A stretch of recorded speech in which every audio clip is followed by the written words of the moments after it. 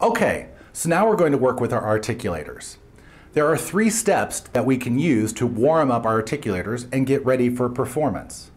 Step one is to actually massage your articulators, your cheeks, and your face muscles to get them ready. Like this. Really get in there and get them warmed up and ready. Step two, you can do the tiger followed by a pucker. Tiger, pucker. And you do that as many times as you need to make sure that you are ready. Finally, we can work with our tongue twister.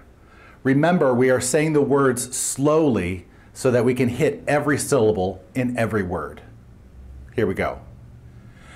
Peter Piper picked a peck of pickled peppers. A peck of pickled peppers Peter Piper picked. If Peter Piper picked a peck of pickled peppers, where is the peck of pickled peppers Peter Piper picked?